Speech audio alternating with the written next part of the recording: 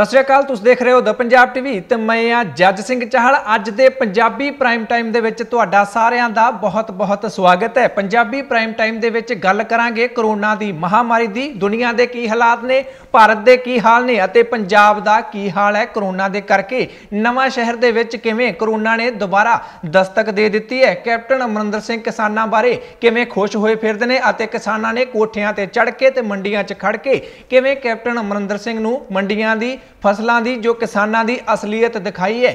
ਨਵਜੋਤ ਸਿੰਘ ਸਿੱਧੂ ਇੱਕ ਵਾਰ ਫਿਰ ਤੋਂ ਵਿਵਾਦਾਂ ਵਿੱਚ ਘਿਰ ਗਏ ਨੇ, ਜੋ ਪੰਜਾਬੀ ਬਾਹਰ ਫਸੇ ਹੋਏ ਸਨ। ਉਹਨਾਂ ਦੇ ਲਈ ਪੰਜਾਬ ਸਰਕਾਰ ਨੇ ਇੱਕ ਨਵਾਂ ਕਦਮ ਪੁੱਟਿਆ ਹੈ ਅਤੇ ਬਠਿੰਡਾ ਪੁਲਿਸ ਨੇ ਕੁਝ ਅਜਿਹਾ ਕੀਤਾ ਹੈ, ਜਿਸ ਦੇ ਨਾਲ ਕਰਫਿਊ ਦੀ ਉਲੰਘਣਾ ਬਹੁਤ ਭਾਰੀ ਪੈ ਸਕਦੀ ਹੈ। ਸ਼ੁਰੂਆਤ ਕਰਦੇ ਹਾਂ ਕਰੋਨਾ ਦੀ ਮਹਾਮਾਰੀ ਤੋਂ।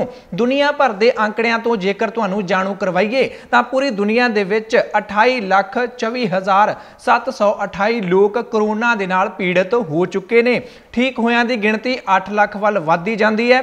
798114 ਲੋਕ ਕਰੋਨਾ ਨੂੰ ਮਾਤ ਦੇ ਚੁੱਕੇ ਨੇ, ਠੀਕ ਹੋ ਚੁੱਕੇ ਨੇ। ਮੌਤਾਂ ਦੀ ਜੇਕਰ ਗੱਲ ਕਰੀਏ ਪੂਰੀ ਦੁਨੀਆ ਦੇ ਵਿੱਚ 197667 ਲੋਕ ਮਰ ਚੁੱਕੇ ਨੇ, ਆਪਣੀ ਜਾਨ ਗਵਾ ਚੁੱਕੇ ਨੇ ਕਰੋਨਾ ਦੀ ਮਹਾਮਾਰੀ ਦੇ ਕਰਕੇ। ਅਮਰੀਕਾ ਦਾ ਬਹੁਤ ਬੁਰਾ ਹਾਲ ਹੈ। ਜੇਕਰ ਸਾਰੀ ਦੁਨੀਆ ਦੀ ਗੱਲ ਕਰੀਏ, ਇਸ ਸੁਪਰ ਪਾਵਰ ਦੇਸ਼ ਦੇ ਵਿੱਚ 927150 4 ਲੋਕ ਕਰੋਨਾ ਪੋਜ਼ਿਟਿਵ ਪਾਏ ਜਾ ਚੁੱਕੇ ਨੇ। ਠੀਕ ਹੋਇਆਂ ਦੀ ਗਿਣਤੀ 1 ਲੱਖ ਟੱਪ ਗਈ ਹੈ। 1 ਲੱਖ 1315 ਲੋਕ ਅਮਰੀਕਾ ਦੇ ਵਿੱਚ ਠੀਕ ਹੋ ਚੁੱਕੇ ਨੇ। ਮੌਤਾਂ 50000 ਦਾ ਆંકੜਾ ਟੱਪ ਚੁੱਕੀਆਂ ਨੇ। 52400 ਲੋਕ ਅਮਰੀਕਾ ਦੇ ਵਿੱਚ ਕਰੋਨਾ ਦੀ ਮਹਾਮਾਰੀ ਦੇ ਕਰਕੇ ਆਪਣੀ ਜਾਨ ਗਵਾ ਚੁੱਕੇ ਨੇ। ਇਸ ਤਰ੍ਹਾਂ ਅਮਰੀਕਾ ਦੇ ਜੋ ਦਾਅਵੇ ਕਿ ਉਹ ਮਹਾਸ਼ਕਤੀ ਹੈ, ਕਰੋਨਾ ਉਹਨਾਂ ਨੂੰ ਢਹਿ ਢੇਰੀ ਕਰਦਾ ਦਿਖਾਈ ਦਿੰਦਾ ਹੈ। ਵਧਦੇ ਆ ਆਪਣੇ ਦੇਸ਼ ਭਾਰਤ ਦੇ ਵੱਲ। ਭਾਰਤ ਦੀ ਜੇਕਰ ਗੱਲ ਕਰੀਏ ਤਾਂ ਅੰਕੜੇ ਇੱਥੇ ਵੀ ਲਗਾਤਾਰ ਵਧ ਰਹੇ ਨੇ। 24506 ਟੋਟਲ ਕਰੋਨਾ ਪੋਜ਼ਿਟਿਵ ਮਰੀਜ਼ ਭਾਰਤ ਦੇ ਵਿੱਚ ਪਾਏ ਜਾ ਚੁੱਕੇ ਨੇ, ਜੋ ਕਿ ਲਗਭਗ, ਹੁਣ ਲਗਭਗ 1000 ਨਵਾਂ ਮਰੀਜ਼ ਰੋਜ਼ ਭਾਰਤ ਦੇ ਵਿੱਚ ਵੀ ਆਉਣ ਲੱਗਿਆ ਹੈ। ਠੀਕ ਹੋਇਆਂ ਦੀ ਗੱਲ ਕਰੀਏ ਤਾਂ 5000 ਨੂੰ ਅੰਕੜਾ ਟੱਪ ਚੁੱਕਿਆ ਹੈ। 5063 ਲੋਕ ਭਾਰਤ ਦੇ ਵਿੱਚ ਕਰੋਨਾ ਨੂੰ ਮਾਤ ਦੇ ਚੁੱਕੇ ਨੇ, ਠੀਕ ਹੋ ਚੁੱਕੇ ਨੇ। ਮੌਤਾਂ ਦਾ ਅੰਕੜਾ ਲਗਾਤਾਰ ਵਧ ਰਿਹਾ ਹੈ। ਹੁਣ 50 ਤੋਂ ਉੱਪਰ 24 ਘੰਟਿਆਂ ਦੇ ਵਿੱਚ ਮੌਤਾਂ ਭਾਰਤ ਦੇ ਵਿੱਚ ਵੀ ਹੋ ਚੁੱਕੀਆਂ ਨੇ। 775 ਲੋਕ ਭਾਰਤ ਦੇ ਵਿੱਚ ਕਰੋਨਾ ਦੇ ਕਰਕੇ ਆਪਣੀ ਜਾਨ ਗਵਾ ਚੁੱਕੇ ਨੇ। ਇਸੇ ਕਰਕੇ ਸ਼ਾਇਦ ਭਾਰਤ ਸਰਕਾਰ ਦੀ ਚਿੰਤਾ ਲਗਾਤਾਰ ਵੱਧ ਰਹੀ ਹੈ ਕਿ 3 ਮਈ ਤੋਂ ਬਾਅਦ ਲੋਕਡਾਊਨ ਹਟਾਉਣਾ ਚਾਹੀਦਾ ਹੈ, ਰਿਆਇਤ ਦੇਣੀ ਚਾਹੀਦੀ ਹੈ, ਛੋਟਾਂ ਦੇਣੀਆਂ ਚਾਹੀਦੀਆਂ ਜਾਂ ਫਿਰ ਨਹੀਂ, ਕਿਉਂਕਿ ਅੰਕੜੇ ਲਗਾਤਾਰ ਵੱਧਦੇ ਦਿਖਾਈ ਦਿੰਦੇ ਨੇ। ਅਜੇ ਤਾਂ ਇਹ ਵੀ ਕਿਹਾ ਜਾਂਦਾ ਹੈ ਕਿ ਭਾਰਤ ਦੇ ਵਿੱਚ ਟੈਸਟ ਬਹੁਤ ਘੱਟ ਹੋ ਰਹੇ ਨੇ। ਇਸੇ ਕਰਕੇ ਪੋਜ਼ਿਟਿਵ ਕੇਸ ਵੀ ਘੱਟ ਆ ਰਹੇ ਨੇ। ਹੁਣ 3 ਮਈ ਤੋਂ ਬਾਅਦ ਭਾਰਤ ਸਰਕਾਰ ਕੀ ਕਰੇਗੀ, ਇਸ ਦੇ ਵੱਲ ਵੀ ਸਭ ਦੀ ਨਿਗਾਹ ਬਣੀ ਰਹੇਗੀ। ਹੁਣ ਆਉਨੇ ਆ ਆਪਣੇ ਸੂਬੇ ਪੰਜਾਬ ਦੇ ਵੱਲ ਜਿੱਥੇ ਅੰਕੜੇ ਲਗਾਤਾਰ ਵਧਦੇ ਜਾ ਰਹੇ ਨੇ, ਭਾਵੇਂ ਉਸ ਰਫ਼ਤਾਰ ਦੇ ਨਾਲ ਨਹੀਂ, ਪਰ ਫਿਰ ਵੀ 10 11 ਅੰਕੜੇ ਰੋਜ਼ ਨਵੇਂ ਮਰੀਜ਼ ਪੰਜਾਬ ਦੇ ਵਿੱਚ ਵੀ ਸਾਹਮਣੇ ਆ ਜਾਂਦੇ ਨੇ ਅਤੇ ਅੱਜ ਵੀ ਕੁਝ ਅਜਿਹਾ ਹੀ ਹੋਇਆ ਹੈ। 11 ਨਵੇਂ ਮਰੀਜ਼ ਅੱਜ ਪੰਜਾਬ ਦੇ ਵਿੱਚ ਸਾਹਮਣੇ ਆਏ ਨੇ ਅਤੇ ਟੋਟਲ ਗਿਣਤੀ ਪੰਜਾਬ ਦੇ ਵਿੱਚ ਹੋ ਚੁੱਕੀ ਹੈ। ਕਰੋਨਾ ਦੇ ਮਰੀਜ਼ਾਂ ਦੀ 309 ਅਤੇ ਜੋ ਠੀਕ ਹੋਏ ਨੇ, ਉਹ ਨੇ 72 ਉਹਨਾਂ ਦੀ ਗਿਣਤੀ ਹੋ ਚੁੱਕੀ ਹੈ। ਇਸ ਵੇਲੇ ਪੰਜਾਬ ਦੇ ਵਿੱਚ 220 ਐਕਟਿਵ ਕੇਸ ਨੇ ਅਤੇ ਮੌਤਾਂ ਪੰਜਾਬ ਦੇ ਵਿੱਚ ਕਰੋਨਾ ਦੇ ਨਾਲ 17 ਹੋ ਚੁੱਕੀਆਂ ਨੇ। ਜੇਕਰ ਅੱਜ ਨਵੇਂ ਆਏ ਕੇਸਾਂ ਦੀ ਗੱਲ ਕਰੀਏ ਤਾਂ 11 ਕੇਸ ਨਵੇਂ ਪੰਜਾਬ ਦੇ ਵਿੱਚ ਆਏ ਨੇ, ਜਿਨ੍ਹਾਂ ਵਿੱਚੋਂ ਪਠਾਨਕੋਟ ਤੋਂ ਇੱਕ ਨਵਾਂ ਕੇਸ ਸਾਹਮਣੇ ਆਇਆ ਹੈ। ਪਟਿਆਲਾ ਤੋਂ 6 ਕੇਸ ਸਾਹਮਣੇ ਆਏ ਨੇ, ਜੋ ਕਿ ਉਹੀ ਪਹਿਲੇ ਕਰੋਨਾ ਪੀੜਤਾਂ ਦੇ ਸੰਪਰਕ ਵਿੱਚ ਆਏ ਸਨ, ਉਹੀ 6 ਨਵੇਂ ਕੇਸ ਸਾਹਮਣੇ ਆਏ ਨੇ। ਪਟਿਆਲਾ ਲਗਾਤਾਰ ਗਿਣਤੀ ਵਧਾ ਰਿਹਾ ਹੈ ਅਤੇ ਇਕੱਠੇ ਹੀ ਕੇਸ ਪਟਿਆਲਾ ਤੋਂ ਨਿਕਲ ਕੇ ਸਾਹਮਣੇ ਆਉਂਦੇ ਨੇ। ਕਦੇ 18 ਆ ਜਾਂਦੇ ਨੇ, ਕਦੇ 15 ਆ ਜਾਂਦੇ ਨੇ ਅਤੇ ਹੁਣ 6 ਇਹਨਾਂ 24 ਘੰਟਿਆਂ ਦੇ ਵਿੱਚ ਸਰਕਾਰੀ ਬੁਲੇਟਿਨ ਪੰਜਾਬ ਸਰਕਾਰ ਦੇ ਵੱਲੋਂ ਪੇਸ਼ ਕੀਤਾ ਗਿਆ ਹੈ, ਮੀਡੀਆ ਦੇ ਸਾਹਮਣੇ ਰੱਖਿਆ ਗਿਆ ਹੈ। ਉਸ ਦੇ ਵਿੱਚ ਪਟਿਆਲਾ ਤੋਂ 6 ਨਵੇਂ ਕੇਸ ਸਾਹਮਣੇ ਆਏ ਨੇ। ਇਸ ਤਰ੍ਹਾਂ ਵੱਡੀ ਗਿਣਤੀ ਦੇ ਵਿੱਚ ਪਟਿਆਲਾ ਵੀ ਅੱਗੇ ਵੱਧਦਾ ਦਿਖਾਈ ਦਿੰਦਾ ਹੈ। ਇਸ ਤੋਂ ਇਲਾਵਾ ਨਵਾਂ ਸ਼ਹਿਰ ਜੋ ਕਿ ਕਰੋਨਾ ਤੋਂ ਮੁਕਤ ਹੋ ਚੁੱਕਿਆ ਸੀ 19 ਉੱਥੇ ਕੇਸ ਸਨ, ਇੱਕ ਦੀ ਮੌਤ ਹੋ ਗਈ ਸੀ 18 ਠੀਕ ਹੋ ਗਏ ਸਨ। ਉੱਥੇ ਵੀ ਇੱਕ ਨਵਾਂ ਕੇਸ ਆ ਗਿਆ ਹੈ। ਨਵਾਂ ਸ਼ਹਿਰ ਦੇ ਵਿੱਚ ਇੱਕ ਨਵਾਂ ਕੇਸ ਆਇਆ ਹੈ। ਜੰਮੂ ਕਸ਼ਮੀਰ ਤੋਂ ਵਾਪਸ ਆਇਆ ਸੀ, ਉਹ ਪੰਜਾਬੀ ਡਰਾਈਵਰ ਦੱਸਿਆ ਜਾਂਦਾ ਹੈ। ਉਸ ਨੂੰ ਵੀ ਕਰੋਨਾ ਪੋਜ਼ਿਟਿਵ ਪਾਇਆ ਗਿਆ ਹੈ। ਜਿਸ ਤੋਂ ਬਾਅਦ ਨਵਾਂ ਸ਼ਹਿਰ ਦੀਆਂ ਮੁਸ਼ਕਲਾਂ ਇੱਕ ਵਾਰ ਫਿਰ ਤੋਂ ਵੱਧ ਗਈਆਂ ਨੇ, ਕਿਉਂਕਿ ਜੇਕਰ 28 ਦਿਨ ਤੱਕ ਉੱਥੇ ਕੋਈ ਨਵਾਂ ਕੇਸ ਨਾ ਆਉਂਦਾ, ਤਾਂ ਰੈੱਡ ਜ਼ੋਨ ਤੋਂ ਗ੍ਰੀਨ ਜ਼ੋਨ ਦੇ ਵਿੱਚ ਲੈ ਜਾਣਾ ਸੀ। ਨਵਾਂ ਸ਼ਹਿਰ, ਪਰ ਹੁਣ ਇੱਕ ਨਵਾਂ ਕੇਸ ਆ ਗਿਆ, ਹੁਣ ਪਤਾ ਨਹੀਂ ਉਸ ਦੇ ਸੰਪਰਕ ਵਿੱਚ ਕਿੰਨੇ ਕੁ ਲੋਕ ਆਏ ਹੋਣਗੇ, ਉਹ ਤਾਂ ਬਾਅਦ ਵਿੱਚ ਹੀ ਪਤਾ ਲੱਗੇਗਾ। ਪਰ ਨਵਾਂ ਸ਼ਹਿਰ ਜੋ ਕਿ ਮੁਕਤ ਹੋ ਗਿਆ ਸੀ ਕਰੋਨਾ ਤੋਂ, ਇੱਕ ਵਾਰ ਫਿਰ ਤੋਂ ਕਰੋਨਾ ਨੇ ਨਵਾਂ ਸ਼ਹਿਰ ਦੇ ਵਿੱਚ ਦਸਤਕ ਦੇ ਦਿੱਤੀ ਹੈ। ਹੋਰ ਜਲੰਧਰ ਵੀ ਲਗਾਤਾਰ ਅੱਗੇ ਵਧ ਰਿਹਾ ਤੇ ਜਲੰਧਰ ਹੁਣ ਪੰਜਾਬ ਦੇ ਜ਼ਿਲ੍ਹਿਆਂ ਦੇ ਵਿੱਚੋਂ ਸਭ ਤੋਂ ਅੱਗੇ ਪਹੁੰਚ ਗਿਆ। ਤਿੰਨ ਨਵੇਂ ਕੇਸ ਅੱਜ ਜਲੰਧਰ ਤੋਂ ਵੀ ਆਏ ਨੇ ਅਤੇ ਇਹ ਵੀ ਉਹੀ ਨੇ ਜੋ ਪਹਿਲੇ ਕਰੋਨਾ ਮਰੀਜ਼ਾਂ ਮਰੀਜ਼ਾਂ ਦੇ ਸੰਪਰਕ ਵਿੱਚ ਆਏ ਸਨ। ਇਸ ਤਰ੍ਹਾਂ 11 ਅੱਜ ਨਵੇਂ ਕੇਸ ਆਏ ਨੇ ਅਤੇ ਟੋਟਲ ਗਿਣਤੀ ਹੁਣ ਪੰਜਾਬ ਦੀ ਪਹੁੰਚ ਚੁੱਕੀ ਹੈ 309 ਤੱਕ, ਜਿਨ੍ਹਾਂ ਵਿੱਚੋਂ ਐਕਟਿਵ ਕੇਸ ਨੇ 220 ਅਤੇ 72 ਠੀਕ ਹੋ ਚੁੱਕੇ ਨੇ 17 ਮੌਤਾਂ ਨੇ। ਜੇਕਰ ਅੱਜ ਠੀਕ ਹੋਇਆਂ ਦੀ ਗੱਲ ਕਰੀਏ, ਦੋ ਮਰੀਜ਼ ਅੱਜ ਠੀਕ ਹੋਏ ਨੇ ਇਹਨਾਂ 24 ਘੰਟਿਆਂ ਦੇ ਵਿੱਚ, ਜਿਨ੍ਹਾਂ ਵਿੱਚੋਂ ਇੱਕ ਕਪੂਰਥਲਾ ਤੋਂ ਠੀਕ ਹੋਇਆ ਹੈ ਅਤੇ ਇੱਕ ਠੀਕ ਹੋਇਆ ਹੈ ਮਾਨਸਾ ਤੋਂ। ਇਸ ਤਰ੍ਹਾਂ ਠੀਕ ਹੋਇਆਂ ਦੀ ਗਿਣਤੀ ਭਾਵੇਂ ਵੱਧ ਰਹੀ ਹੈ, ਪਰ ਕਾਫੀ ਹੌਲੀ ਰਫ਼ਤਾਰ ਦੇ ਨਾਲ ਠੀਕ ਹੋਇਆਂ ਦੀ ਗਿਣਤੀ ਵੱਧ ਰਹੀ ਹੈ। ਜਿਵੇਂ ਅੱਜ ਠੀਕ 2 ਹੋਏ ਨੇ ਅਤੇ ਨਵੇਂ 11 ਆ ਗਏ ਨੇ। ਇਸ ਤਰ੍ਹਾਂ ਪੰਜਾਬ ਸਰਕਾਰ ਦੀ ਅਤੇ ਪੰਜਾਬ ਦੇ ਲੋਕਾਂ ਦੀ ਚਿੰਤਾ ਵੱਧਦੀ ਦਿਖਾਈ ਦਿੰਦੀ ਹੈ। ਜੇਕਰ ਜ਼ਿਲ੍ਹਾਵਾਰ ਦੀ ਗੱਲ ਕਰੀਏ ਕਿ ਕਿੰਨੇ ਕੇਸ ਕਿਸ ਜ਼ਿਲ੍ਹੇ ਦੇ ਵਿੱਚ ਨੇ, ਤਾਂ ਇਸ ਦੇ ਵਿੱਚ ਸਭ ਤੋਂ ਉੱਪਰ ਪਹੁੰਚ ਗਿਆ ਹੈ Jalandhar. 66 corona positive case Jalandhar ਚੋਂ ਪਾਏ ਜਾ ਚੁੱਕੇ ਨੇ, ਜਿਨ੍ਹਾਂ ਵਿੱਚੋਂ 57 ਐਕਟਿਵ ਨੇ। ਟੋਟਲ ਜੋ ਠੀਕ ਹੋਏ ਨੇ, ਉਹ 7 ਨੇ ਅਤੇ ਮੌਤਾਂ ਜਲੰਧਰ ਦੇ ਵਿੱਚ 2 ਹੋ ਚੁੱਕੀਆਂ ਨੇ। ਦੂਜੇ ਨੰਬਰ ਤੇ ਮੋਹਾਲੀ ਹੈ। ਸਾਹਿਬਜ਼ਾਦਾ ਅਜੀਤ ਸਿੰਘ ਨਗਰ ਹੈ, ਜਿੱਥੇ 63 ਟੋਟਲ ਕਰੋਨਾ ਪੋਜ਼ਿਟਿਵ ਪਾਏ ਗਏ ਸਨ। ਉਹਨਾਂ ਵਿੱਚੋਂ ਇਸ ਵੇਲੇ ਸਿਰਫ 47 ਹੀ ਐਕਟਿਵ ਨੇ 14 ਠੀਕ ਹੋਏ ਨੇ, ਦੋਵਾਂ ਦੀ ਮੌਤ ਹੋ ਚੁੱਕੀ ਹੈ। ਪਟਿਆਲਾ ਵੀ ਲਗਾਤਾਰ ਆਪਣੀ ਗਿਣਤੀ ਵਧਾ ਰਿਹਾ ਹੈ ਇੱਕਦਮ ਕਾਫੀ ਇਕੱਠੇ ਇਕੱਠੇ ਕੇਸ ਲਿਆ ਕੇ ਆਪਣੀ ਗਿਣਤੀ ਵਧਾ ਰਿਹਾ। 60 ਤੋਂ ਇਹ ਵੀ ਟੱਪ ਚੁੱਕਿਆ ਹੈ ਪਟਿਆਲਾ ਦੇ ਵਿੱਚ 61 ਕੇਸ ਨੇ, ਉਹਨਾਂ ਵਿੱਚੋਂ 60 ਐਕਟਿਵ ਨੇ ਅਤੇ ਇੱਕ ਠੀਕ ਹੋ ਚੁੱਕਿਆ ਹੈ ਪਠਾਨਕੋਟ ਤੋਂ ਵੀ ਲਗਾਤਾਰ ਕੇਸ ਆ ਰਹੇ ਨੇ ਅਤੇ ਪਠਾਨਕੋਟ ਵਿੱਚ ਵੀ ਗਿਣਤੀ 25 ਤੱਕ ਪਹੁੰਚ ਚੁੱਕੀ ਹੈ। 19 ਇੱਥੇ ਐਕਟਿਵ ਕੇਸ ਨੇ ਅਤੇ ਇਹਨਾਂ ਵਿੱਚੋਂ ਪੰਜ ਠੀਕ ਹੋ ਗਏ ਨੇ, ਇੱਕ ਦੀ ਮੌਤ ਹੋਈ ਹੈ। ਨਵਾਂ ਸ਼ਹਿਰ ਦੀ ਗੱਲ ਕਰੀਏ ਤਾਂ ਇੱਥੇ ਹੁਣ ਟੋਟਲ ਕੇਸ ਹੋ ਚੁੱਕੇ ਨੇ 20 ਅਤੇ ਜੋ ਨਵਾਂ ਆਇਆ ਉਹੀ ਹੁਣ ਐਕਟਿਵ ਹੈ। ਬਾਕੀ ਸਾਰੇ ਪਹਿਲਾਂ ਹੀ ਨਿਪਟ ਚੁੱਕੇ ਸਨ। ਲੁਧਿਆਣਾ ਦੇ 17 ਕੇਸ ਨੇ, ਜਿਨ੍ਹਾਂ ਵਿੱਚੋਂ 9 ਐਕਟਿਵ ਨੇ 4 ਠੀਕ ਹੋ ਚੁੱਕੇ ਨੇ ਅਤੇ 4 ਦੀ ਹੀ ਮੌਤ ਹੋ ਚੁੱਕੀ ਹੈ। ਅੰਮ੍ਰਿਤਸਰ ਤੋਂ 14 ਕੇਸ ਨੇ, ਜਿਸ ਵਿੱਚੋਂ 11 ਐਕਟਿਵ ਨੇ, ਮਾਨਸਾ ਤੋਂ 13 ਨੇ ਐਕਟਿਵ ਕੇਸ 10 ਨੇ 3 ਠੀਕ ਹੋ ਚੁੱਕੇ ਨੇ। ਹੁਸ਼ਿਆਰਪੁਰ ਤੋਂ 7 ਨੇ, ਇੱਕ ਐਕਟਿਵ ਕੇਸ ਹੈ, ਜਿਸ ਵਿੱਚੋਂ 5 ਠੀਕ ਹੋ ਚੁੱਕੇ ਨੇ ਅਤੇ ਇੱਕ ਦੀ ਮੌਤ ਹੋ ਚੁੱਕੀ ਹੈ। ਮੋਗਾ ਤੋਂ ਚਾਰ ਕੇਸ ਨੇ ਜੋ ਪੂਰੀ ਤਰ੍ਹਾਂ ਮੁਕਤ ਹੋ ਚੁੱਕਿਆ ਹੈ। ਇੱਥੇ ਐਕਟਿਵ ਕੇਸ ਕੋਈ ਵੀ ਨਹੀਂ ਹੈ। ਚਾਰ ਹੀ ਮਰੀਜ਼ ਸਨ ਅਤੇ ਚਾਰੇ ਮੋਗੇ ਤੋਂ ਠੀਕ ਹੋ ਚੁੱਕੇ ਨੇ। ਫਰੀਦਕੋਟ ਤੋਂ ਤਿੰਨ ਕੇਸ ਨੇ। ਕਪੂਰਥਲਾ 3 ਰੋਪੜ 3 ਸੰਗਰੂਰ 3 ਬਰਨਾਲਾ 2 ਫਤਿਹਗੜ੍ਹ ਸਾਹਿਬ 2 ਫਿਰੋਜ਼ਪੁਰ 1 ਗੁਰਦਾਸਪੁਰ 1 ਅਤੇ ਸ਼੍ਰੀ ਮੁਕਤਸਰ ਸਾਹਿਬ ਤੋਂ ਵੀ ਇੱਕ ਕੇਸ ਹੈ। ਇਸ ਤਰ੍ਹਾਂ ਟੋਟਲ ਕੇਸ ਪੰਜਾਬ ਦੇ ਵਿੱਚ 309 ਨੇ। ਜੋ ਐਕਟਿਵ ਕੇਸ ਨੇ ਇਸ ਵੇਲੇ ਜੋ ਜਿਹੜੇ ਇਲਾਜ ਨੇ, ਉਹ ਨੇ 220 72 ਠੀਕ ਹੋ ਚੁੱਕੇ ਨੇ ਅਤੇ 17 ਮੌਤਾਂ ਪੰਜਾਬ ਦੇ ਵਿੱਚ ਹੋ ਚੁੱਕੀਆਂ ਨੇ। ਇਸ ਤਰ੍ਹਾਂ ਪੰਜਾਬ ਦੇ ਵਿੱਚ ਕਰੋਨਾ ਪੈਰ ਪਸਾਰ ਰਿਹਾ ਹੈ ਸ਼ਾਇਦ ਇਸੇ ਕਰਕੇ ਹੀ ਪੰਜਾਬ ਦੇ ਮੁੱਖ ਮੰਤਰੀ ਕੈਪਟਨ ਅਮਰਿੰਦਰ ਸਿੰਘ ਦੇ ਵੱਲੋਂ ਜੋ ਲੋਕਡਾਊਨ ਦੇ ਵਿੱਚ ਕੇਂਦਰ ਸਰਕਾਰ ਨੇ ਰਿਆਇਤਾਂ ਦਿੱਤੀਆਂ ਨੇ, ਦੁਕਾਨਾਂ ਖੁੱਲਣੀਆਂ ਚਾਹੀਦੀਆਂ ਨੇ, ਉਸ ਨੂੰ ਪੰਜਾਬ ਸਰਕਾਰ ਮੰਨਦੀ ਦਿਖਾਈ ਨਹੀਂ ਦਿੰਦੀ ਹੈ। ਹਾਲਾਂਕਿ ਕੈਪਟਨ ਅਮਰਿੰਦਰ ਸਿੰਘ ਨੇ ਕੇਂਦਰ ਸਰਕਾਰ ਤੋਂ ਇਹ ਇਜਾਜ਼ਤ ਜ਼ਰੂਰ ਮੰਗੀ ਸੀ ਕਿ ਪੰਜਾਬ ਦੇ ਵਿੱਚ ਠੇਕੇ ਖੁੱਲਣੇ ਚਾਹੀਦੇ ਨੇ। ਹਾਲਾਂਕਿ ਕੇਂਦਰ ਸਰਕਾਰ ਦੇ ਗ੍ਰਹਿ ਮੰਤਰਾਲੇ ਨੇ ਇਹ ਇਜਾਜ਼ਤ ਨਹੀਂ ਦਿੱਤੀ ਹੈ। ਇਹ ਮੰਗ ਨਹੀਂ ਮੰਨੀ ਹੈ, ਪਰ ਦੁਕਾਨਾਂ ਖੋਲਣ ਦੀ ਗੱਲ ਜੋ ਕੇਂਦਰ ਸਰਕਾਰ ਵੱਲੋਂ ਕਹੀ ਗਈ ਸੀ, ਭਾਰਤ ਸਰਕਾਰ ਵੱਲੋਂ ਕਹੀ ਗਈ ਸੀ, ਉਸ ਨੂੰ ਪੰਜਾਬ ਸਰਕਾਰ ਨੇ ਨਹੀਂ ਮੰਨਿਆ ਕਿਉਂਕਿ ਕੈਪਟਨ ਅਮਰਿੰਦਰ ਸਿੰਘ ਕਹਿੰਦੇ ਨੇ ਕਿ ਅਸੀਂ ਇਹ ਢਿੱਲ ਨਹੀਂ ਦੇ ਸਕਦੇ, ਕਿਉਂਕਿ ਮੈਂ ਨਹੀਂ ਚਾਹੁੰਦਾ ਕਿ ਪੰਜਾਬ ਦੇ ਵਿੱਚ ਇਹ ਕੇਸ ਵਧਣ, ਕਿਉਂਕਿ ਕੈਪਟਨ ਅਮਰਿੰਦਰ ਸਿੰਘ ਦਾ ਮੰਨਣਾ ਹੈ ਕਿ ਜੇਕਰ ਢਿੱਲ ਦਿੱਤੀ ਗਈ ਤਾਂ ਪੰਜਾਬ ਦੇ ਵਿੱਚ ਕੇਸ ਜ਼ਰੂਰ ਵਧਣਗੇ। ਜੋ 20 ਮੈਂਬਰੀ ਕਮੇਟੀ ਕੈਪਟਨ ਅਮਰਿੰਦਰ ਸਿੰਘ ਵੱਲੋਂ ਬਣਾਈ ਗਈ ਸੀ, ਉਹ ਰਿਪੋਰਟ ਦੇ ਦੇਗੀ ਉਸ ਤੋਂ ਬਾਅਦ ਹੀ ਕੋਈ ਨਾ ਕੋਈ ਫੈਸਲਾ ਕਰਫਿਊ ਨੂੰ ਲੈ ਕੇ ਵੀ ਲਿਆ ਜਾਏਗਾ,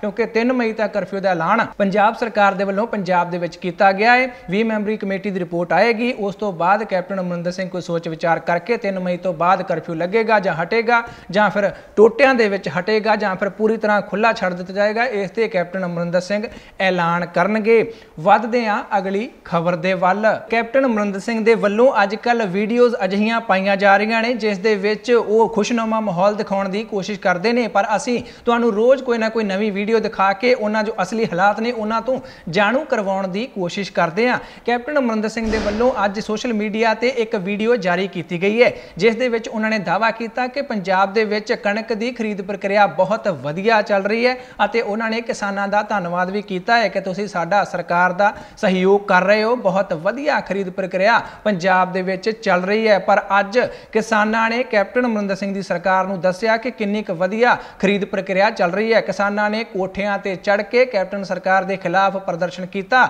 ਅਤੇ ਮੰਡੀਆਂ 'ਚ ਖੜ ਕੇ ਵੀ ਕੈਪਟਨ ਸਰਕਾਰ ਦੇ ਖਿਲਾਫ ਨਾਅਰੇਬਾਜ਼ੀ ਵੀ ਕੀਤੀ। ਕਿਸਾਨਾਂ ਦਾ ਕਹਿਣਾ ਹੈ ਕਿ ਕੈਪਟਨ ਅਮਰਿੰਦਰ ਸਿੰਘ ਵੱਲੋਂ ਦਮਗੱਜੇ ਬਹੁਤ ਵੱਡੇ ਵੱਡੇ ਮਾਰੇ ਜਾ ਰਹੇ ਨੇ, ਪਰ ਅਸਲੀਅਤ ਕੁਝ ਹੋ ਰਹੀ ਹੈ। ਕੀ ਕਹਿਣਾ ਹੈ? ਇਸ ਮੌਕੇ ਉਹਨਾਂ ਕਿਸਾਨਾਂ ਦਾ ਤੁਹਾਨੂੰ ਉਹ ਵੀ ਦਿਖਾ ਦਿੰਨੇ ਆ ਜਿਹੜਾ ਸਰਕਾਰਾਂ ਇਹ ਕਹਿੰਦੀਆਂ ਸੀਗੀਆਂ ਵੀ ਅਸੀਂ 24 ਘੰਟਿਆਂ ਦੇ ਵਿੱਚ ਕਿਸਾਨ ਨੂੰ ਵਿਹਲਾ ਕਰਕੇ ਘਰੋਂ ਤੋਰਾਂਗੇ, ਬਿਮਾਰੀ ਦੇ ਮੱਜੇ ਨਜ਼ਰ ਰੱਖਦੇ ਆ ਸੋਸ਼ਲ ਡਿਸਪੈਂਸ ਹੈ ਜਿਹੜਾ ਉਹ ਤੁਸੀਂ ਰੱਖਿਆ ਅਸੀਂ ਵੱਧ ਤੋਂ ਵੱਧ ਸੰਯੋਗ ਕੀਤਾ ਸਰਕਾਰ ਦਾ, ਕਿਸਾਨਾਂ ਨੇ, ਮਜ਼ਦੂਰਾਂ ਨੇ ਰਲ ਮਿਲ ਕੇ। ਪਰ ਇਸ ਮੰਡੀਆਂ ਦੇ ਵਿੱਚ ਮਜ਼ਦੂਰ ਤੇ ਕਿਸਾਨ ਅੱਜ ਵੱਡੇ ਪੱਧਰ ਤੇ ਰੁੜ ਰਿਹਾ ਹੈ, ਬਾਰਦਾਨੇ ਬਿਨਾ। ਆ ਸਾਡੀਆਂ ਕਣਕਾਂ ਜਿਹੜੀਆਂ, ਦੇਖੋ, ਆਹ ਮੰਜ਼ਲ ਦਿਖਾ ਅੱਗੇ। ਇਹ ਦੇਖੋ ਤੁਸੀਂ ਕਿੱਡਾ ਮਾੜਾ ਹਾਲ ਹੈ। ਫਿਰ ਅਕਵਾਰੀ ਗੱਲਾਂ ਮਾਰਨ ਦੀ ਸਾਡੇ ਮੁੱਖ ਮੰਤਰੀ ਨੂੰ, ਸਾਡੇ ਮੰਤਰੀਆਂ ਨੂੰ ਇਹ ਨਹੀਂ ਨਾ ਬਣਦਾ, ਮਾੜਾ ਮੋਟਾ ਸੋਚਣਾ ਚਾਹੀਦਾ, ਜਿਹੜੇ ਕਹਿੰਦੇ ਨੇ 24 ਘੰਟਿਆਂ 'ਚ ਅਸੀਂ ਘਰੇ ਭੇਜ ਦਾਂਗੇ। ਪਰ ਤੁਸੀਂ ਸੋਸ਼ਲ ਡਿਸਪੈਂਸ ਬਣਾ ਕੇ ਰੱਖੋ, ਸਾਡਾ ਸਾਥ ਦਿਓ। ਕਿਸਾਨਾਂ ਨੇ ਵੱਧ ਤੋਂ ਵੱਧ ਸਾਥ ਦਿੱਤਾ ਸਰਕਾਰ ਦਾ, ਪਰ ਅੱਜ ਸਾਡਾ ਸਬਰ ਦਾ ਬੰਨ ਹੈ ਜਿਹੜਾ, ਉਹ ਟੁੱਟ ਚੁੱਕਿਆ ਸੀ। 10 ਮੌਸਮ ਦੀ ਮਾਰ ਹੈ, ਬੱਦਲਵਾਈ ਹੋਈ ਹੋਈ ਹੈ। ਕਣਕ ਸਾਡੀ ਖੰਡਾਈ ਪਈ ਹੈ। ਠੇਡੇ ਮਾਰ ਕੇ ਇੰਸਪੈਕਟਰ ਕਣਕ ਨੂੰ ਜਾਂਦਾ ਹੈ। ਇਹ ਬਹੁਤ ਮਾੜਾ ਹਾਲ ਹੈ ਸਾਡਾ ਕਿਸਾਨਾਂ ਦਾ। ਇਹ ਕਿਸਾਨ ਕੈਪਟਨ ਅਮਰਿੰਦਰ ਸਿੰਘ ਦੀ ਸਰਕਾਰ ਦੇ ਕੰਮਕਾਜ ਤੋਂ ਕਿੰਨੇ ਕੁ ਦੁਖੀ ਨੇ, ਇਹ, ਇਸ ਗੱਲ ਤੋਂ ਵੀ ਅੰਦਾਜ਼ਾ ਲਾਇਆ ਜਾ ਸਕਦਾ ਹੈ ਕਿ ਭਾਵੇਂ ਕਰੋਨਾ ਚੱਲ ਰਿਹਾ ਹੈ, ਸੋਸ਼ਲ ਡਿਸਟੈਂਸਿੰਗ ਰੱਖਣੀ ਹੈ, ਪਰ ਫਿਰ ਵੀ ਕਿਸਾਨਾਂ ਦੇ ਵੱਲੋਂ ਕਿਹਾ ਜਾ ਰਿਹਾ ਹੈ ਕਿ ਜੇਕਰ ਕੈਪਟਨ ਸਰਕਾਰ ਨੇ ਇਹ ਕੰਮਕਾਜ ਨਾ ਸੁਧਾਰਿਆ ਤਾਂ ਸਾਨੂੰ ਕੋਈ ਨਾ ਕੋਈ ਪ੍ਰਦਰਸ਼ਨ ਦਾ ਐਲਾਨ ਕਰਨਾ ਪਏਗਾ। ਭਾਵੇਂ ਸੋਸ਼ਲ ਡਿਸਟੈਂਸ ਰੱਖ ਕੇ ਹੀ ਅਸੀਂ ਪ੍ਰਦਰਸ਼ਨ ਕਰੀਏ, ਪਰ ਪ੍ਰਦਰਸ਼ਨ ਜ਼ਰੂਰ ਕਰਾਂਗੇ। ਇਸੇ ਕਰਕੇ ਕਿਸਾਨਾਂ ਨੂੰ ਕੋਠੇ ਤੇ ਵੀ ਚੜਨਾ ਪਿਆ ਹੈ ਇਸੇ ਨਾਲ ਹੀ ਸੰਬੰਧਿਤ ਅਗਲੀ ਖਬਰ ਹੈ, ਸ਼੍ਰੋਮਣੀ ਅਕਾਲੀ ਦਲ ਦੇ ਵੱਲੋਂ ਅੱਜ ਕੋਰ ਕਮੇਟੀ ਦੀ ਮੀਟਿੰਗ ਕੀਤੀ ਗਈ ਹੈ, ਜਿਸ ਦੇ ਵਿੱਚ ਪ੍ਰਕਾਸ਼ ਸਿੰਘ ਬਾਦਲ ਨੇ ਵੀ ਆਪਣੀ ਹਾਜ਼ਰੀ ਭਰੀ ਹੈ, ਜੋ ਵੀਡੀਓ ਕਾਨਫਰੈਂਸਿੰਗ ਦੇ ਜ਼ਰੀਏ ਇਹ ਕੋਰ ਕਮੇਟੀ ਦੀ ਮੀਟਿੰਗ ਕੀਤੀ ਗਈ ਹੈ, ਜਿਸ ਦੇ ਵਿੱਚ ਕਾਫੀ ਵੱਡੇ ਫੈਸਲੇ ਸ਼੍ਰੋਮਣੀ ਅਕਾਲੀ ਦਲ ਦੇ ਵੱਲੋਂ ਲਏ ਗਏ ਨੇ। ਕੁਝ ਮੰਗਾਂ ਸੂਬਾ ਸਰਕਾਰ ਅਤੇ ਕੇਂਦਰ ਸਰਕਾਰ ਤੋਂ ਵੀ ਕੀਤੀਆਂ ਗਈਆਂ ਨੇ। ਪਹਿਲੀ ਮੰਗ ਇਸ ਵਿੱਚ ਜੋ ਸ਼੍ਰੋਮਣੀ ਅਕਾਲੀ ਦਲ ਦੀ ਕੋਰ ਕਮੇਟੀ ਨੇ ਰੱਖੀ ਹੈ, ਉਸ ਦੇ ਵਿੱਚ ਕੇਂਦਰ ਸਰਕਾਰ ਤੋਂ ਮੰਗ ਕੀਤੀ ਗਈ ਹੈ ਕਿ ਕਿਸਾਨਾਂ ਨੂੰ ਕਣਕ ਦੀ ਫਸਲ ਤੇ ਬੋਨਸ ਮਿਲਣਾ ਚਾਹੀਦਾ ਹੈ, ਕਿਉਂਕਿ ਮਹਾਮਾਰੀ ਚੱਲ ਰਹੀ ਹੈ। ਖਰੀਦ ਪ੍ਰਕਿਰਿਆ ਦੇ ਵਿੱਚ ਕਾਫੀ ਸਮੱਸਿਆਵਾਂ ਦਾ ਸਾਹਮਣਾ ਕਿਸਾਨਾਂ ਨੂੰ ਕਰਨਾ ਪੈ ਰਿਹਾ ਹੈ। ਬੋਨਸ ਦਿਓ। ਦੂਜੀ ਮੰਗ ਵੀ ਕੇਂਦਰ ਸਰਕਾਰ ਦੇ ਸਾਹਮਣੇ ਰੱਖੀ ਗਈ ਹੈ ਕਿ ਕੁਝ ਛੋਟਾਂ ਵੀ ਕਿਸਾਨਾਂ ਨੂੰ ਮਿਲਣੀਆਂ ਚਾਹੀਦੀਆਂ ਨੇ, ਜਿਵੇਂ ਕਿ ਨਮੀ ਦੇ ਵਿੱਚ ਛੋਟ ਕੇਂਦਰ ਸਰਕਾਰ ਨੂੰ ਕਿਸਾਨਾਂ ਨੂੰ ਦੇਣੀ ਚਾਹੀਦੀ ਹੈ। ਤੀਜੀ ਗੱਲ ਉਹਨਾਂ ਨੇ ਪੰਜਾਬ ਸਰਕਾਰ ਨੂੰ ਆਖੀ ਹੈ ਕਿ ਜਲਦੀ ਤੋਂ ਜਲਦੀ ਕਣਕ ਚੁੱਕਣ ਦੀ ਜੋ ਪ੍ਰਕਿਰਿਆ, ਉਸ ਨੂੰ ਪੂਰਾ ਕੀਤਾ ਜਾਣਾ ਚਾਹੀਦਾ ਹੈ। ਕਿਸਾਨਾਂ ਨੂੰ ਮੰਡੀਆਂ ਦੇ ਵਿੱਚ ਨਹੀਂ ਰੋਲਣਾ ਚਾਹੀਦਾ ਅਤੇ ਪਾਸ ਦੇਣ ਲੱਗਿਆਂ ਕਿਸੇ ਨਾਲ ਵਿਤਕਰਾ ਨਹੀਂ ਕਰਨਾ ਚਾਹੀਦਾ, ਕਿਉਂਕਿ ਕਈ ਕਿਸਾਨਾਂ ਵੱਲੋਂ ਸ਼ਿਕਾਇਤ ਕੀਤੀ ਜਾ ਰਹੀ ਹੈ ਕਿ ਪਾਸ ਉਹਨਾਂ ਨੂੰ ਨਹੀਂ ਮਿਲ ਰਹੇ। ਇਸ ਤੋਂ ਇਲਾਵਾ ਸ਼੍ਰੋਮਣੀ ਅਕਾਲੀ ਦਲ ਦੇ ਵੱਲੋਂ ਪੰਜਾਬ ਸਰਕਾਰ ਤੋਂ ਮੰਗ ਕੀਤੀ ਗਈ ਹੈ ਕਿ ਜੋ ਕਿਸਾਨ ਨੇ ਜਾਂ ਫਿਰ ਖੇਤ ਮਜ਼ਦੂਰ ਨੇ ਉਹਨਾਂ ਦੇ 3 ਮਹੀਨਿਆਂ ਤੱਕ ਦੇ ਬਿਜਲੀ ਦੇ ਬਿੱਲ ਮੁਆਫ ਕੀਤੇ ਜਾਣੇ ਚਾਹੀਦੇ ਨੇ। ਇਸ ਤੋਂ ਇਲਾਵਾ ਉਦਯੋਗਾਂ ਦੇ ਜੋ ਪੱਕੇ ਖਰਚੇ ਹੁੰਦੇ ਨੇ, ਉਹਨਾਂ ਤੇ ਵੀ ਰੋਕ ਲਾਈ ਜਾਣੀ ਚਾਹੀਦੀ ਹੈ। ਉਹ ਵੀ 3 ਮਹੀਨਿਆਂ ਦੇ ਲਈ ਹਟਾਏ ਜਾਣੇ ਚਾਹੀਦੇ ਨੇ। ਇਸ ਤਰ੍ਹਾਂ ਪ੍ਰਕਾਸ਼ ਸਿੰਘ ਬਾਦਲ ਨੇ ਅੱਜ ਕੋਰ ਕਮੇਟੀ ਦੀ ਖੁਦ ਕਮਾਨ ਸੰਭਾਲੀ ਅਤੇ ਇਹ ਵੱਡੀਆਂ ਮੰਗਾਂ ਕੇਂਦਰ ਅਤੇ ਸੂਬਾ ਸਰਕਾਰਾਂ ਦੇ ਸਾਹਮਣੇ ਰੱਖ ਦਿੱਤੀਆਂ ਨੇ। ਸੁਖਬੀਰ ਸਿੰਘ ਬਾਦਲ, ਪ੍ਰਕਾਸ਼ ਸਿੰਘ ਬਾਦਲ ਅਤੇ ਹਰਸਿਮਰਤ ਕੌਰ ਬਾਦਲ ਇਕੱਠੇ ਬੈਠੇ ਵੀ ਅੱਜ ਦੇਖੇ ਗਏ ਨੇ। ਇਸ ਵੀਡੀਓ ਕਾਨਫਰੈਂਸਿੰਗ ਦੁਆਰਾ ਕੀਤੀ ਗਈ। ਕੋਰ ਕਮੇਟੀ ਦੀ ਮੀਟਿੰਗ ਦੇ ਵਿੱਚ ਵਧਦੇ ਹਾਂ ਅਗਲੀ ਖਬਰ ਦੇ ਵੱਲ। ਜੋ ਸ਼੍ਰੀ ਹਜੂਰ ਸਾਹਿਬ ਵਿਖੇ ਸਿੱਖ ਸੰਗਤ ਫਸੀ ਹੋਈ ਸੀ, ਉਸ ਨੂੰ ਲੈ ਕੇ ਹੁਣ ਬੱਸਾਂ ਭੇਜ ਦਿੱਤੀਆਂ ਗਈਆਂ ਨੇ ਅਤੇ ਸਿੱਖ ਸੰਗਤ ਨੂੰ ਵਾਪਸ ਲਿਆਉਣ ਦੀ ਪ੍ਰਕਿਰਿਆ ਸ਼ੁਰੂ ਹੋ ਚੁੱਕੀ ਹੈ। ਪਰ ਇਹ ਸਭ ਦੇ ਵਿੱਚ ਪੋਲੀਟੀਕਲ ਡਰਾਮਾ ਖਤਮ ਹੁੰਦਾ ਦਿਖਾਈ ਨਹੀਂ ਦਿੰਦਾ। ਇੱਕ ਵਾਰ ਫਿਰ ਤੋਂ ਕੈਪਟਨ ਅਮਰਿੰਦਰ ਸਿੰਘ ਵਰਸਸ ਹਰਸਿਮਰਤ ਕੌਰ ਬਾਦਲ ਹੁੰਦਾ ਦਿਖਾਈ ਦਿੰਦਾ ਹੈ, ਕਿਉਂਕਿ ਹਰਸਿਮਰਤ ਕੌਰ ਬਾਦਲ ਦੇ ਵੱਲੋਂ ਲਗਾਤਾਰ ਸੋਸ਼ਲ ਮੀਡੀਆ ਤੇ ਇਹ ਪ੍ਰਚਾਰ ਕੀਤਾ ਜਾ ਰਿਹਾ ਹੈ ਕਿ ਇਸ ਦੇ ਲਈ ਮੈਂ ਮਿਹਨਤ ਕੀਤੀ ਹੈ ਅਤੇ ਜੋ ਸਿੱਖ ਸੰਗਤਾਂ ਵਾਪਸ ਆ ਰਹੀਆਂ ਨੇ ਪੰਜਾਬ, ਉਹ ਮੇਰੀ ਮਿਹਨਤ ਦੇ ਕਰਕੇ ਆ ਰਹੀਆਂ ਨੇ। ਫੋਟੋਆਂ ਬਣਾ ਬਣਾ ਕੇ ਸੋਸ਼ਲ ਮੀਡੀਆ ਤੇ ਪ੍ਰਚਾਰ ਕੀਤਾ ਜਾ ਰਿਹਾ ਹੈ। ਜਿਸ ਫੋਟੋ ਦੇ ਥੱਲੇ ਲਿਖਿਆ ਗਿਆ ਧੰਨਵਾਦ ਬੀਬਾ ਜੀ ਅਤੇ ਕੈਪਟਨ ਅਮਰਿੰਦਰ ਸਿੰਘ ਵੀ ਘੱਟ ਨਹੀਂ। ਫੋ ਵੀਡੀਓ ਵੀ ਐਡਿਟ ਕਰ ਕਰਕੇ ਪਾਉਂਦੇ ਨੇ ਕੈਪਟਨ ਅਮਰਿੰਦਰ ਸਿੰਘ। ਆਪਣੇ ਫੇਸਬੁੱਕ ਪੇਜ ਤੇ ਅਤੇ ਫੋਟੋਆਂ ਵੀ ਬਣਾ ਬਣਾ ਕੇ ਪਾਉਂਦੇ ਨੇ, ਜਿੱਥੇ ਕੈਪਟਨ ਅਮਰਿੰਦਰ ਸਿੰਘ ਹੱਥ ਜੋੜ ਕੇ ਖੜੇ ਨੇ ਕਿ ਪੰਜਾਬ ਸਰਕਾਰ ਉਹਨਾਂ ਸਿੱਖ ਸੰਗਤਾਂ ਨੂੰ ਵਾਪਸ ਲਿਆ ਰਹੀ ਹੈ। ਇਸ ਤਰ੍ਹਾਂ ਉਹ ਲੋਕ ਤਾਂ ਉੱਥੇ ਫਸੇ ਸਨ। ਕਿੰਨੀਆਂ ਗੁਹਾਰਾਂ ਤੋਂ ਬਾਅਦ ਉਹਨਾਂ ਨੂੰ ਵਾਪਸ ਲਿਆਂਦਾ ਜਾ ਰਿਹਾ ਹੈ। ਅਤੇ ਪੰਜਾਬ ਦੇ ਲੀਡਰਾਂ ਨੂੰ ਇਹ ਪਈ ਹੈ ਕਿ ਕਿਸ ਨੇ ਉਹਨਾਂ ਨੂੰ ਵਾਪਸ ਲਿਆਂਦਾ ਹੈ ਉਸ ਦਾ ਸਿਹਰਾ ਮੈਨੂੰ ਮਿਲ ਜਾਣਾ ਚਾਹੀਦਾ ਹੈ ਮੈਨੂੰ ਮਿਲ ਜਾਣਾ ਚਾਹੀਦਾ ਹੈ ਇਸ ਤਰ੍ਹਾਂ ਪੋਲੀਟੀਕਲ ਡਰਾਮਾ ਇਸ ਜੋ ਸੰਗਤਾਂ ਨੂੰ ਵਾਪਸ ਲਿਆਂਦਾ ਜਾ ਰਿਹਾ, ਉਸ ਤੇ ਵੀ ਪੰਜਾਬ ਦੇ ਵਿੱਚ ਲਗਾਤਾਰ ਜਾਰੀ ਹੈ ਮਨਪ੍ਰੀਤ ਸਿੰਘ ਬਾਦਲ ਨੇ ਅੱਜ ਜੋ ਬੱਸਾਂ ਬਠਿੰਡਾ ਤੋਂ ਭੇਜੀਆਂ ਗਈਆਂ ਨੇ, ਉਹਨਾਂ ਨੂੰ ਹਰੀ ਝੰਡੀ ਵਿਖਾਈ ਹੈ ਜੋ ਸਟਾਫ ਦੀ ਹੌਸਲਾ ਅਫਜ਼ਾਈ ਮਨਪ੍ਰੀਤ ਸਿੰਘ ਬਾਦਲ ਦੇ ਵੱਲੋਂ ਕੀਤੀ ਗਈ ਹੈ 80 ਬੱਸਾਂ ਅੱਜ ਪੰਜਾਬ ਤੋਂ ਭੇਜੀਆਂ ਗਈਆਂ ਨੇ, ਜੋ 2 ਦਿਨ ਦੇ ਸਫ਼ਰ ਤੋਂ ਬਾਅਦ ਲਗਭਗ 3000 ਕਿਲੋਮੀਟਰ ਦਾ ਸਫ਼ਰ ਕਰਕੇ ਇਹਨਾਂ ਸੰਗਤਾਂ ਨੂੰ ਵਾਪਸ ਲਿਆਉਣਗੀਆਂ। ਇਸ ਤਰ੍ਹਾਂ ਸਿੱਖ ਸੰਗਤਾਂ ਤਾਂ ਵਾਪਸ ਆ ਜਾਣਗੀਆਂ, ਪਰ ਪੰਜਾਬ ਦੇ ਵਿੱਚ ਲੀਡਰਾਂ ਨੂੰ ਇਹ ਹੈ ਕਿ ਨਾ ਸਾਡਾ ਹੋਣਾ ਚਾਹੀਦਾ ਕਿ ਅਸੀਂ ਸਿੱਖ ਸੰਗਤਾਂ ਨੂੰ ਵਾਪਸ ਲਿਆਏ ਆ ਵਧਦੇ ਆ ਅਗਲੀ ਖਬਰ ਦੇ ਵੱਲ। ਨਵਜੋਤ ਸਿੰਘ ਸਿੱਧੂ ਕੁਝ ਵੀ ਕਰਦੇ ਨੇ, ਅੱਜ ਕੱਲ ਉਹ ਵਿਵਾਦਾਂ ਵਿੱਚ ਘਿਰ ਜਾਂਦਾ ਹੈ। ਅੱਜ ਨਵਜੋਤ ਸਿੰਘ ਸਿੱਧੂ ਅੰਮ੍ਰਿਤਸਰ ਦੇ ਵਿੱਚ ਰਾਸ਼ਨ ਵੰਡਣ ਲਈ ਪਹੁੰਚੇ। ਲੋਕ ਇਕੱਠੇ ਹੋ ਗਏ ਅਤੇ ਖਬਰਾਂ ਬਣ ਗਈਆਂ, ਚਰਚਾ ਹੋ ਗਈ ਕਿ ਸੋਸ਼ਲ ਡਿਸਟੈਂਸਿੰਗ ਦੀਆਂ ਧੱਜੀਆਂ ਨਵਜੋਤ ਸਿੰਘ ਸਿੱਧੂ ਨੇ ਉਡਾ ਦਿੱਤੀਆਂ ਨੇ। ਕਿਉਂਕਿ ਨਵਜੋਤ ਸਿੰਘ ਸਿੱਧੂ ਅੱਜ ਕੱਲ ਅੰਮ੍ਰਿਤਸਰ ਦੇ ਵਿੱਚ ਫਿਰਦੇ ਨੇ, ਪਹਿਲਾਂ ਮਾਸਕ ਨਹੀਂ ਪਾਉਂਦੇ ਸਨ। ਹੁਣ ਉਹ ਰੁਮਾਲ ਬਣ ਕੇ ਰੱਖਦੇ ਨੇ। ਇਸ ਪਿੱਛੇ ਉਹਨਾਂ ਤਰਕ ਦਿੱਤਾ ਹੈ। ਕਹਿੰਦੇ ਨੇ ਕਿ WHO ਵੱਲੋਂ ਕਿਹਾ ਗਿਆ ਹੈ ਕਿ ਮਾਸਕ ਪਾਉਣਾ ਜ਼ਰੂਰੀ ਨਹੀਂ ਹੈ, ਪਰ ਜੇਕਰ ਪੰਜਾਬ ਸਰਕਾਰ ਕਹਿੰਦੀ ਹੈ ਕਿ ਪਾਓ, ਤਾਂ ਅਸੀਂ ਪਾ ਲੈਨੇ ਅੱਜ ਕੱਲ੍ਹ ਰੁਮਾਲ ਤਾਂ ਬਣਦੇ ਨੇ, ਪਰ ਸੋਸ਼ਲ ਡਿਸਟੈਂਸਿੰਗ ਦੀਆਂ ਅੱਜ ਧੱਜੀਆਂ ਉੜਦੀਆਂ ਅੰਮ੍ਰਿਤਸਰ ਦੇ ਵਿੱਚ ਦੇਖੀਆਂ ਗਈਆਂ। ਪਰ ਵਿਰੋਧੀ ਕੁਝ ਵੀ ਕਹਿਣ, ਜਿਨ੍ਹਾਂ ਲੋਕਾਂ ਕੋਲ ਨਵਜੋਤ ਸਿੰਘ ਸਿੱਧੂ ਪਹੁੰਚੇ ਸਨ, ਉਹ ਲੋਕ ਇੱਥੇ ਕਾਫੀ ਖੁਸ਼ ਦਿਖਾਈ ਦਿੱਤੇ ਨੇ। ਕੀ ਕਹਿਣਾ ਹੈ ਨਵਜੋਤ ਸਿੰਘ ਸਿੱਧੂ ਬਾਰੇ? ਉਹਨਾਂ ਲੋਕਾਂ ਦਾ ਤੁਹਾਨੂੰ ਉਹ ਵੀ ਸੁਣਾ ਦਿੰਨੇ ਆ ਅੱਜ ਕਹਿਣਾ ਚਾਹੁੰਦਾ ਡਾਕਟਰ, ਆਏ ਸੀ, ਸਿੱਧੂ ਸਾਹਿਬ ਬੜਾ ਪ੍ਰੇਮ ਦਿੱਤਾ ਜਨਤਾ ਨੇ ਉਹਨਾਂ ਨੂੰ। ਉਹਨਾਂ ਨੇ ਜਨਤਾ ਨੂੰ ਦਿੱਤਾ ਹੈ। ਬਾਕੀ ਜੋ ਗੱਲਾਂ ਕਹਿੰਦੇ ਕਰੋਨਾ ਤੋਂ ਬਾਅਦ ਹੀ ਕਰਾਂਗੇ।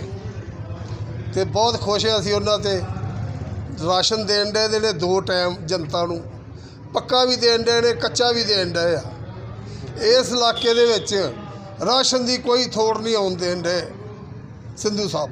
ਇਸ ਤੋਂ ਇਲਾਵਾ ਨਵਜੋਤ ਸਿੰਘ ਸਿੱਧੂ ਨੇ ਅੱਜ ਅੰਮ੍ਰਿਤਸਰ ਦੇ ਵਿੱਚ ਇੱਕ ਧਾਰਮਿਕ ਯਾਤਰਾ ਵੀ ਕੀਤੀ ਹੈ। ਸਾਰੇ ਧਾਰਮਿਕ ਸਥਾਨਾਂ ਤੇ ਨਵਜੋਤ ਸਿੰਘ ਸਿੱਧੂ ਗਏ। ਭਾਵੇਂ ਉਹ ਗੁਰਦੁਆਰੇ ਹੋਣ, ਭਾਵੇਂ ਉਹ ਮੰਦਿਰ ਹੋਣ, ਭਾਵੇਂ ਮਸਜਿਦ ਹੋਵੇ ਜਾਂ ਫਿਰ ਚਰਚ ਹੋਵੇ, ਸਾਰੀ ਜਗ੍ਹਾ ਤੇ ਨਵਜੋਤ ਸਿੰਘ ਸਿੱਧੂ ਗਏ ਅਤੇ ਉੱਥੋਂ ਦੇ ਪ੍ਰਬੰਧਕਾਂ ਨਾਲ ਗੱਲਾਂ ਬਾਤਾਂ ਕਰਕੇ ਉਹਨਾਂ ਨੂੰ ਕਿਹਾ ਕਿ ਜੇਕਰ ਤੁਹਾਨੂੰ ਕੋਈ ਮਦਦ ਚਾਹੀਦੀ ਹੈ, ਤਾਂ ਉਹ ਤੁਹਾਡੀ ਮਦਦ ਕਰਨ ਦੇ ਲਈ, ਯਾਨੀ ਕਿ ਨਵਜੋਤ ਸਿੰਘ ਸਿੱਧੂ, ਉਹਨਾਂ ਦੀ ਮਦਦ ਕਰਨ ਦੇ ਲਈ ਤਿਆਰ ਨੇ। ਇਸ ਤਰ੍ਹਾਂ ਨਵਜੋਤ ਸਿੰਘ ਸਿੱਧੂ ਅੱਜ ਸਵੇਰ ਤੋਂ ਹੀ ਆਪਣੇ ਘਰੋਂ ਨਿਕਲੇ ਹੋਏ ਨੇ ਤਿਆਰ ਵਿਆਰ ਹੋ ਕੇ ਅਤੇ ਸਾਰੇ ਧਾਰਮਿਕ ਧਾਰਮਿਕ ਸਥਾਨਾਂ ਦੀ ਉਹਨਾਂ ਨੇ ਯਾਤਰਾ ਕੀਤੀ ਹੈ, ਪ੍ਰਬੰਧਕਾਂ ਨਾਲ ਗੱਲਬਾਤ ਕੀਤੀ ਹੈ। ਇਸ ਤੋਂ ਇਲਾਵਾ ਕਬੂਤਰਾਂ ਨੂੰ ਚੋਗਾ ਪਾਉਂਦੇ, ਦਾਣਾ ਪਾਉਂਦੇ ਵੀ ਨਵਜੋਤ ਸਿੰਘ ਸਿੱਧੂ ਦੇਖੇ ਗਏ ਨੇ। ਸੋਸ਼ਲ ਮੀਡੀਆ ਤੇ ਉਹਨਾਂ ਦੀਆਂ ਇਹ ਵੀਡੀਓਜ਼ ਵੀ ਕਾਫੀ ਵਾਇਰਲ ਹੋ ਰਹੀਆਂ ਨੇ। ਵਧਦੇ ਹਾਂ, ਅਗਲੀ ਖਬਰ ਦੇ ਵੱਲ। ਬਠਿੰਡਾ ਪੁਲਿਸ ਦੇ ਵੱਲੋਂ ਜੋ ਕਰਫਿਊ ਦੀ ਉਲੰਘਣਾ ਕਰਦੇ ਨੇ, ਉਹਨਾਂ ਦੇ ਲਈ ਇੱਕ ਨਵਾਂ ਹੀ ਹੱਲ ਕੱਢਿਆ ਗਿਆ ਹੈ। ਐਸਐਸਪੀ ਨਾਨਕ ਸਿੰਘ ਨੇ ਐਲਾਨ ਕੀਤਾ ਹੈ ਕਿ ਜੋ ਵੀ ਕਰਫਿਊ ਦੀ ਬੇਵਜ੍ਹਾ ਉਲੰਘਣਾ ਕਰਨਗੇ, ਐਵੇਂ ਇਧਰ ਉਧਰ ਘੁੰਮਦੇ ਫਿਰਦੇ ਨੇ। ਉਹਨਾਂ ਨੂੰ ਪੁਲਿਸ ਦੀ ਕਲੀਅਰੈਂਸ ਨਹੀਂ ਨਹੀਂ ਦਿੱਤੀ ਜਾਏਗੀ। ਜਦੋਂ ਪਾਸਪੋਰਟ ਬਣਾਉਣਾ ਹੁੰਦਾ ਹੈ ਜਾਂ ਫਿਰ ਸਰਕਾਰੀ ਨੌਕਰੀ ਲੱਗਣਾ ਹੁੰਦਾ ਹੈ, ਪੁਲਿਸ ਦੀ ਕਲੀਅਰੈਂਸ ਜ਼ਰੂਰੀ ਹੁੰਦੀ ਹੈ। ਪਰ ਐਸਐਸਪੀ ਨਾਨਕ ਸਿੰਘ ਨੇ ਇਹ ਸਾਫ਼ ਕਰ ਦਿੱਤਾ ਹੈ ਕਿ ਜੇਕਰ ਅਜਿਹੇ ਲੋਕ ਜਾਣਬੁੱਝ ਕੇ ਬਾਹਰ ਘੁੰਮਣਗੇ, ਤਾਂ ਅਸੀਂ ਇਹਨਾਂ ਨੂੰ ਪੁਲਿਸ ਕਲੀਅਰੈਂਸ ਨਹੀਂ ਦੇਵਾਂਗੇ ਜਿਸ ਦਾ ਮਤਲਬ ਇਹ ਹੈ ਕਿ ਜੋ ਵੀ ਨਜਾਇਜ਼ ਘੁੰਮੇਗਾ, ਕਰਫਿਊ ਦੌਰਾਨ ਉਲੰਘਣਾ ਕਰਦਾ ਪਾਇਆ ਗਿਆ, ਉਸ ਨੂੰ ਨਾ ਤਾਂ ਸਰਕਾਰੀ ਨੌਕਰੀ ਮਿਲੇਗੀ ਅਤੇ ਨਾ ਹੀ ਉਸ ਦਾ ਪਾਸਪੋਰਟ ਬਣੇਗਾ, ਉਹ ਬਾਹਰ ਵੀ ਨਹੀਂ ਜਾ ਸਕੇਗਾ। ਆਖਰ ਇਹ ਐਲਾਨ ਕਰਨਾ ਕਿਉਂ ਪਿਆ ਹੈ? ਤੁਹਾਨੂੰ ਪੁਲਿਸ ਅਧਿਕਾਰੀ ਦਾ ਬਿਆਨ ਸੁਣਾ ਦਿੰਨੇ ਆ ਇਹਨਾਂ ਵਿੱਚ ਜਿਹੜੇ ਵੀ ਬੰਦਿਆਂ ਤੇ ਐਫ ਆਈ ਆਰ ਹੁੰਦੀ ਹੈ ਉਹਨਾਂ ਦੇ ਰਿਕਾਰਡ 'ਚ ਐਂਟਰ ਹੋਊਗਾ। ਤੇ ਕੱਲ ਨੂੰ ਜੇ ਉਹਨਾਂ ਨੂੰ ਗਵਰਨਮੈਂਟ ਜੌਬ ਮਿਲਦੀ ਹੈ ਜਾਂ ਪਾਸਪੋਰਟ ਵਾਸਤੇ ਉਹ ਅਪਲਾਈ ਕਰਦੇ ਆ, ਜਿਹੜਾ ਪੁਲਿਸ ਕਲੀਅਰੈਂਸ ਸਰਟੀਫਿਕੇਟ ਜਾਣਾ ਹੁੰਦਾ ਉਹਦੇ ਵਿੱਚ ਮੈਂਸ਼ਨ ਹੋਊਗਾ ਕਿ ਇਹਨਾਂ ਤੇ ਐਫ ਆਈ ਆਰ ਦਰਜ ਹੈ। ਇਹਨਾਂ ਨੂੰ ਗਵਰਨਮੈਂਟ ਜੌਬ ਤੇ ਨਾ ਰੱਖਿਆ ਜਾਵੇ ਤੇ ਇਹਨਾਂ ਨੂੰ ਪਾਸਪੋਰਟ ਇਸ਼ੂ ਨਾ ਦਿੱਤੇ ਕਾਫੀ ਦੇਰ ਤੋਂ ਸਾਡੇ ਦਰਸ਼ਕਾਂ ਦੇ ਵੱਲੋਂ ਸਾਨੂੰ ਇਹ ਸਵਾਲ ਪੁੱਛਿਆ ਜਾ ਰਿਹਾ ਸੀ ਕਿ ਜੋ ਲੋਕ ਪੰਜਾਬੀ ਜਾਂ ਫਿਰ ਭਾਰਤੀ ਨਾਗਰਿਕ ਬਾਹਰਲੇ ਦੇਸ਼ਾਂ ਵਿੱਚ ਫਸੇ ਹੋਏ ਨੇ, ਉਹਨਾਂ ਦੇ ਲਈ ਪੰਜਾਬ ਸਰਕਾਰ ਕੀ ਕਰ ਰਹੀ ਹੈ? ਤਾਂ ਉਹਨਾਂ ਦੇ ਲਈ ਅਸੀਂ ਜਾਣਕਾਰੀ ਦੇ ਦੇਣਾ ਚਾਹੁੰਦੇ ਹਾਂ ਕਿ ਜੋ ਵੀ ਸਟੂਡੈਂਟ ਵੀਜ਼ੇ ਤੇ ਭਾਵੇਂ ਬਾਹਰ ਗਏ ਨੇ ਜਾਂ ਫਿਰ ਉਹਦਾ ਭਾਰਤੀ ਨਾਗਰਿਕ ਨੇ ਅਤੇ ਵਾਪਸ ਆਪਣੇ ਵਤਨ ਭਾਰਤ ਆਉਣਾ ਚਾਹੁੰਦੇ ਨੇ, ਉਹਨਾਂ ਦੇ ਲਈ ਸਰਕਾਰ ਨੇ ਇੱਕ ਈਮੇਲ ਆਈਡੀ ਜਾਰੀ ਕੀਤੀ ਹੈ, ਜੋ ਕਿ ਇਸ ਤਰ੍ਹਾਂ ਹੈ। ਨੋਟ ਕਰ ਲਓ sccr.pb 2020@gmail.com ਇਹ ਈਮੇਲ ਆਈਡੀ ਪੰਜਾਬ ਸਰਕਾਰ ਦੇ ਵੱਲੋਂ ਜਾਰੀ ਕੀਤੀ ਗਈ ਹੈ। ਆਪਣੇ ਜੋ ਜ਼ਿਲ੍ਹੇ ਦਾ ਡੀਸੀ ਹੈ, ਉਸ ਦੇ ਨਾਲ ਸੰਪਰਕ ਤੁਸੀਂ ਕਰਨਾ ਹੈ ਇਸ ਈਮੇਲ ਆਈਡੀ ਦੇ ਜ਼ਰੀਏ ਅਤੇ ਪੰਜਾਬ ਸਰਕਾਰ ਫਿਰ ਤੁਹਾਨੂੰ ਜਵਾਬ ਦੇਵੇਗੀ ਕਿ ਕਿਵੇਂ ਆਉਣਾ, ਅਗਲਾ ਪ੍ਰੋਸੀਜਰ ਤੁਹਾਨੂੰ ਦੱਸ ਦਿੱਤਾ ਜਾਏਗਾ। ਬਹੁਤ ਸਾਰੇ ਲੋਕਾਂ ਦੇ ਵੱਲੋਂ ਇਹ ਸਵਾਲ ਪੁੱਛਿਆ ਜਾ ਰਿਹਾ ਸੀ ਕਿ ਸਰਕਾਰ ਕੀ ਕਰ ਰਹੀ ਹੈ। ਸਾਨੂੰ ਦੱਸੋ, ਜੇਕਰ ਅਸੀਂ ਆਉਣਾ ਚਾਹੁੰਦੇ ਹਾਂ ਤਾਂ ਉਸ ਦੀ ਕੀ ਪ੍ਰਕਿਰਿਆ ਹੈ। ਇਹ ਈਮੇਲ ਆਈਡੀ ਜਾਰੀ ਕੀਤੀ ਗਈ ਹੈ, ਜਿਸ ਦੇ ਨਾਲ ਤੁਸੀਂ ਡੀਸੀ ਆਪਣੇ ਜ਼ਿਲ੍ਹੇ ਦੇ ਡੀਸੀ ਨਾਲ ਸੰਪਰਕ ਕਰਕੇ ਵਾਪਸ ਆਪਣੇ ਵਤਨ ਆ ਸਕਦੇ ਹੋ। ਸੋ ਇਹ ਸਨ ਕੁਝ ਉਹ ਖਬਰਾਂ ਜਿਨ੍ਹਾਂ ਵੱਲ ਅਸੀਂ ਤੁਹਾਡਾ ਧਿਆਨ ਦਿਵਾਉਣਾ ਚਾਹੁੰਦੇ ਸਾਂ। ਅੱਜ ਦੀਆਂ ਇਹ ਕੁਝ ਮੁੱਖ ਖਬਰਾਂ ਸਨ। ਜੇਕਰ ਤੁਸੀਂ ਇਸੇ ਤਰ੍ਹਾਂ ਪੰਜਾਬ ਦੀ ਹਰ ਖਬਰ ਨੂੰ ਨਿਰਪੱਖਤਾ ਨਾਲ ਦੇਖਦੇ ਰਹਿਣਾ ਚਾਹੁੰਦੇ ਹੋ, ਤਾਂ YouTube ਤੇ ਦ ਪੰਜਾਬ ਟੀਵੀ ਦੇ ਚੈਨਲ ਨੂੰ ਸਬਸਕ੍ਰਾਈਬ ਜ਼ਰੂਰ ਕਰ ਲਓ। ਬੈਲ ਵਾਲਾ ਬਟਨ ਜ਼ਰੂਰ ਦਬਾਉਣਾ ਤੇ ਜੇਕਰ ਇਹ ਪੰਜਾਬੀ ਪ੍ਰਾਈਮ ਟਾਈਮ ਤੁਸੀਂ Facebook ਤੇ ਦੇਖ ਰਹੇ ਹੋ, ਤਾਂ Facebook ਤੇ ਸਾਡਾ ਪੇਜ ਲਾਈਕ ਕਰ ਲਓ। ਮੈਂ ਜੱਜ ਸਿੰਘ ਚਾਹਲ ਅਗਲੀ ਵਾਰ ਫਿਰ ਹਾਜ਼ਰ ਹੋਵਾਂਗਾ। ਤੁਸੀਂ ਦੇਖਦੇ ਰਹੋ ਦ ਪੰਜਾਬ ਟੀਵੀ ਹਰ ਖਬਰ ਦਾ ਸੱਚ।